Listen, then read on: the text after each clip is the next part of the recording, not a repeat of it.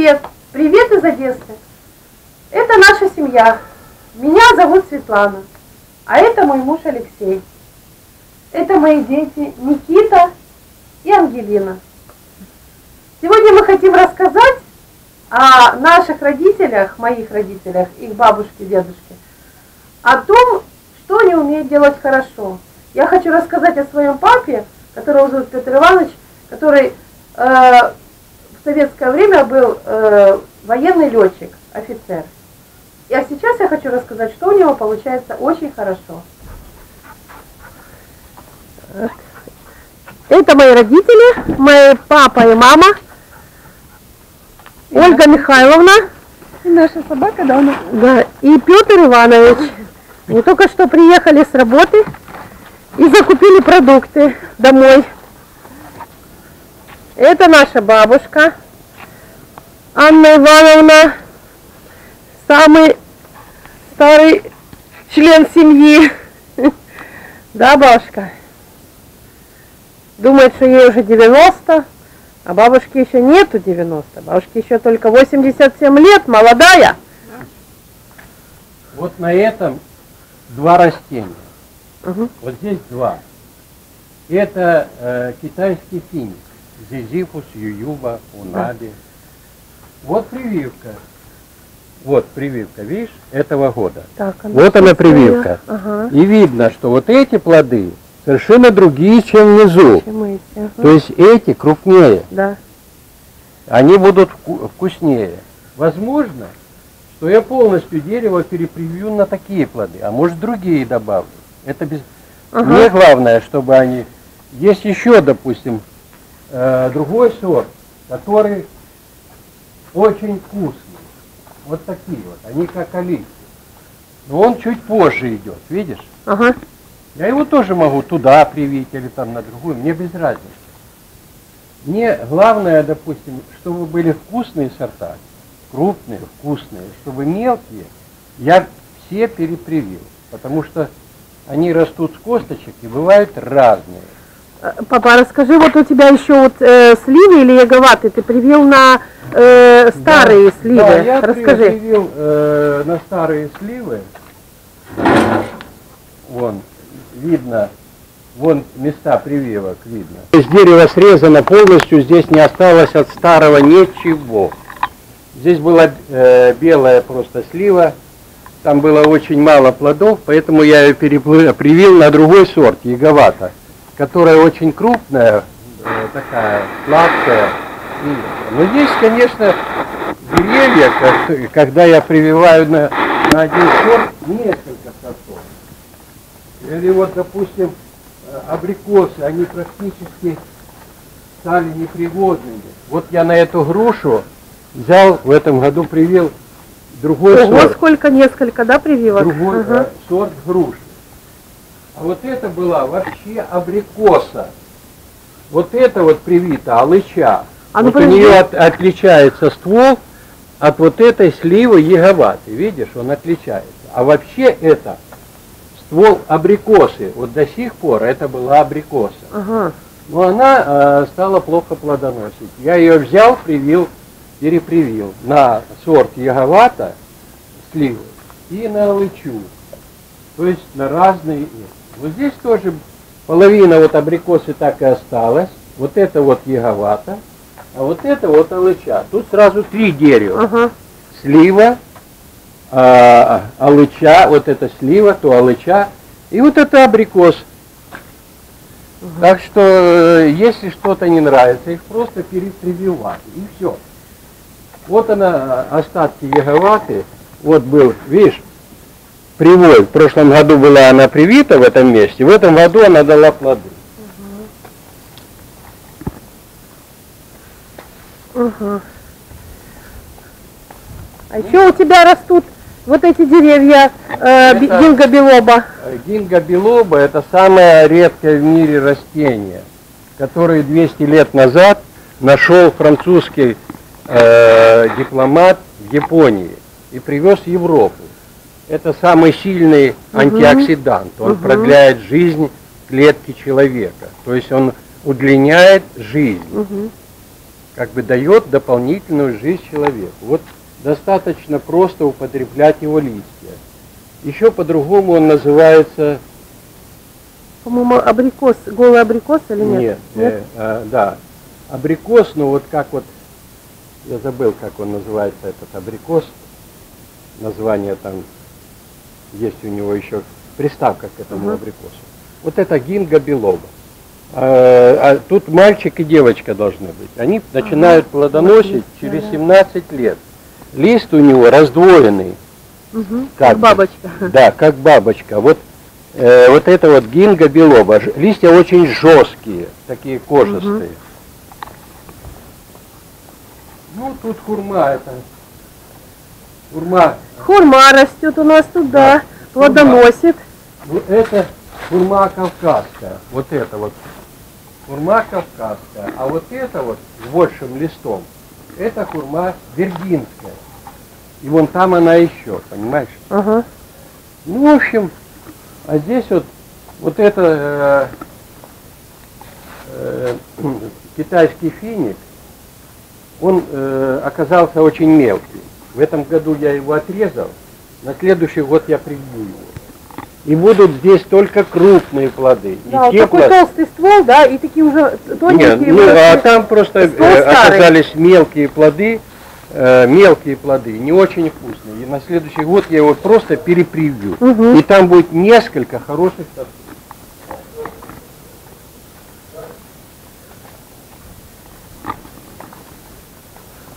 А здесь что? Здесь вот актинидия.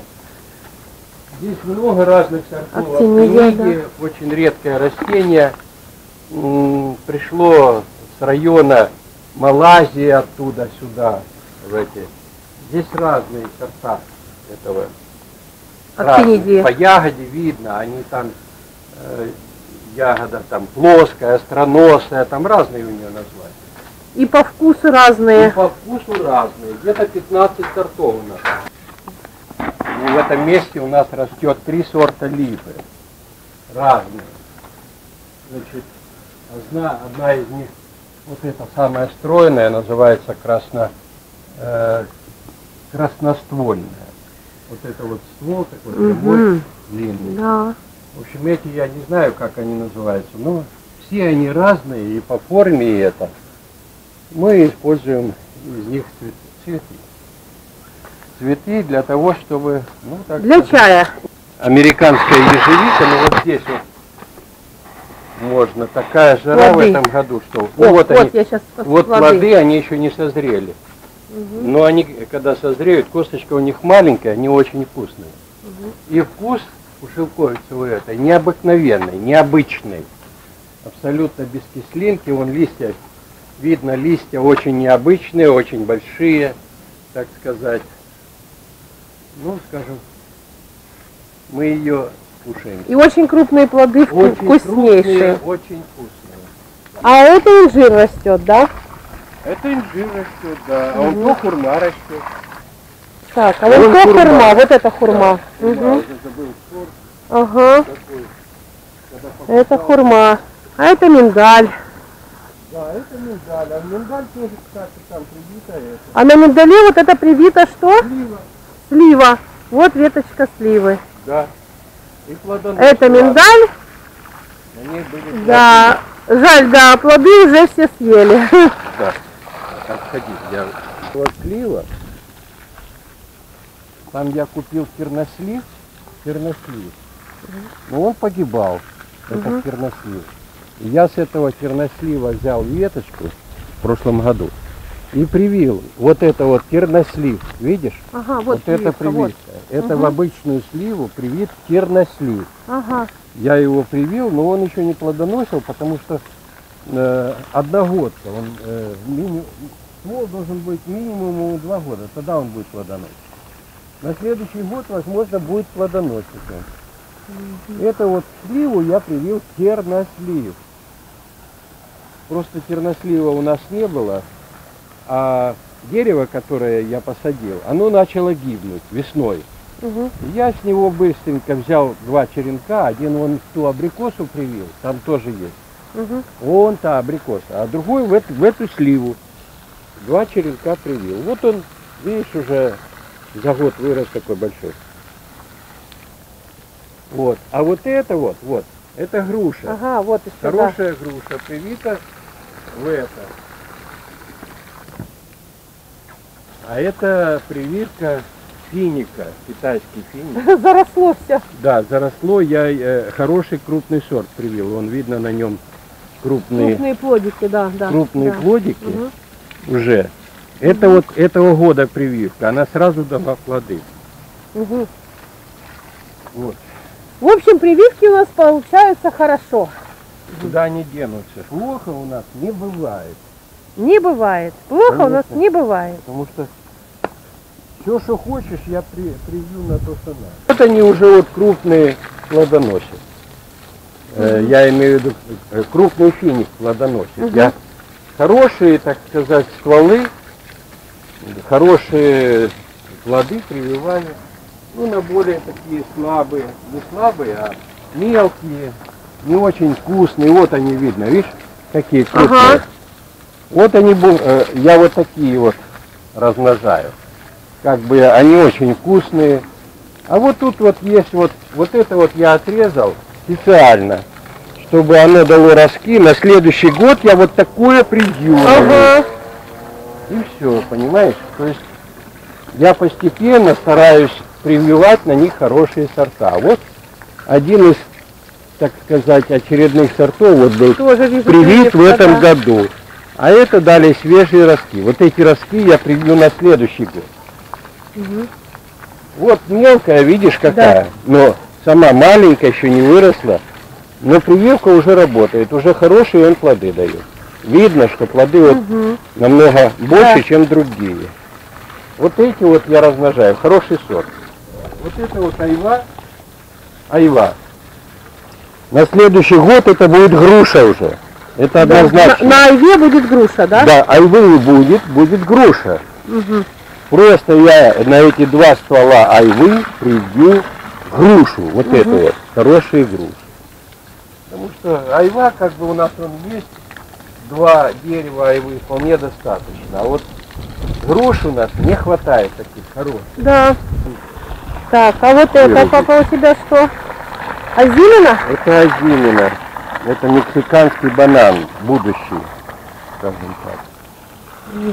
Они очень медленно растут, очень любят воду. Вот, хотя они вот одной посадки, но растут они неравномерно. Вот одни совсем мелкие, другие побольше. А вон тот самый большой. Ага, там вдалеке, да. Да, прививки, как правило, надеваю кулечки на них, чтобы сохранялась влага внутри прививки, чтобы не, не сох сам черенок, который Да. прививаешь, понимаешь? Вот, такого в литературе нигде нет, это я просто придумал это и понял, что вот это дает стопроцентная практически прививки, то есть прививка проходит стопроцентно. Но сроки у меня прививки совершенно другие. Я прививаю тогда, когда еще никто их не прививает. То есть, если только почка пытается наклевываться в этот момент, я ее прививаю. Другие Мгм. прививают на два месяца позже. Угу. Я типа яблоню грушу прививаю в конце декабря. О, Ого, вот тебе ого. Другие же прививают их в мае там и туда-сюда.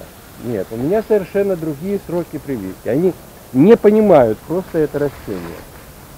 А вот финик китайский, я его прививаю на два месяца позже, потому что он спит практически до начала мая, он спит. Только в начале мая он пробуждается. Почки еще не, не, не раскрываются, они слегка трескаются. Вот надо смотреть на почку, как себя ведет почка. И в зависимости от этого делать прививку. То есть это дело очень тонкое, чтобы была стопроцентная прививка. Сроки могут быть немножко сдвинуты, в зависимости от погодных условий. Вот у меня эти прививки всюду и везде. Вот она, это в прошлом Да, году кстати, была прививка. прививка, Это да. прививка в прошлом году. Это прививка позапрошлого года. Она уже плодоносила. Поэтому я просто это дерево, очень хорошие плоды, но их очень мало, поэтому я хочу его при, перепривить на другое, которых, э, который и плоды хорошие, и плодоносит очень густо, как облепиха. Понимаешь, вот часто я э, их перепрививаю даже не из-за того, что плохой плод, а потому что его практически нету. Плод прекрасный, но его мало. А вот это, допустим, она как облепиха, очень много этих плодов, вот этот Ага. сорт яговат. Два, а то и три я им привью дополнительно э, Водичку на это, да? на эту дичку я приву, э, э, привью алычу. Алыча очень крупная, как слива, вот такая. У нас она там на переднем дворе. Вот это, та будет желтая, а это, видишь, вот такая. Мгм. Вот, то есть она, она будет, она идет вверх высоко. Эти вот высоко не растут. Яговата высоко не растет. А та пойдет вверх. Будет мощная Мгм. и тянуть вверх. Как бы на ней будет держаться. Поэтому у меня, как говорится, для каждого дерева есть свои мысли для того, чтобы его что-то, ну, как говорится, привить. Вот они, видишь, вот они дикари. Ага. Вот это вот был дикарь. Я его привил. За год он, он дал больше, чем метра эти. После этого я его отпилил. Это в этом году. Теперь вот на следующий год я на эти привью. Хорошие мощные стволы они дают. Поэтому я на них сделаю прививки. Ну, а вот это вот еще что? Это тоже, э, э, пока что это дичка, на следующий год я на нее привью. Будут сделаны очередные прививки. То есть я стараюсь, если какой-то сорт не очень там бывает плодоносить, сделать по 2-3 э, разных вида на одном дереве. Мгм. Вот на этой черешне, она вообще э, крас, э, красно-черная, можно сказать, черешня. Вот я привил специально для матери вот это желтая черешня, кусочек. Ага. А вот эта черешня изначально от самого корня я привил, и это желтая черешня, она от сахара хорошо. Ага. Это специально для матери, чтобы черешня была желтая. У нас там была, он одна. Так я ее размножаю. Вот это вот желтая, вон там еще одна желтая растет. Размножаю вот эту желтую черешню, потому что она хорошо помогает от сахара. А у матери ты знаешь, что повышенный сахар. Вот здесь вот полутень, это самая любимая вещь. Полутень, Здесь э, влага не так быстро испаряется, которую поливаешь, и влага. Здесь они растут намного быстрее. То есть это такая оранжерея, да? Это вот как бы, да, рассадник. Я здесь выращиваю или актинидию, я здесь выращиваю. Э, Беру черенки актинидии осенью. И здесь это у меня детсадик для актинидии. И вот озимины привезли. Они примерно э, одинаковы в том, что они очень любят воду. Очень. Вот есть, я актинидию вот тут вот, тоже каждый день поливаю, потому что мочковатые корни, они сверху. И как только солнце, жара, они просто сохнут. У них в самом верхнем слое, вот буквально чуть ковырни землю, у актинидии, и там корни мочковатые. Ну, как у калины примерно. Мгм. Ну, конечно, ягода это супер, актинидия. Очень много йода, она очень полезная, много микроэлементов. Вот. э, Она листы выводит. У нее шкура немножко ядовита, как у посленок. И она выводит э, глисты, если есть там вот у детей глисты или еще что-то. Хоть- Очень много витаминов и микроэлементов, да? Витамина С много, йода, потом э, микроэлементов очень много. А еще я хочу рассказать о том, что мой отец мечтал, когда еще служил в армии, мечтал, что как только выйдет на пенсию, говорит, буду рыбачить от души. И всегда мечтал рисовать. Ну, рыбачить у него пока не получается, а, по разным причинам. Не сильно хочет ехать на рыбалку на данный момент. А вот э, он увлекся картинами. И это у него хорошо получается. А я хочу вам показать, какие картины он рисует.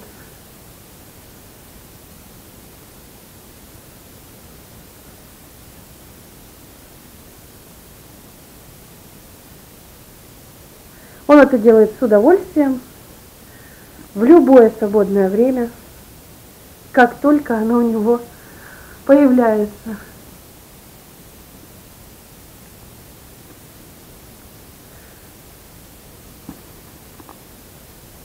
Вот, можно просмотреть.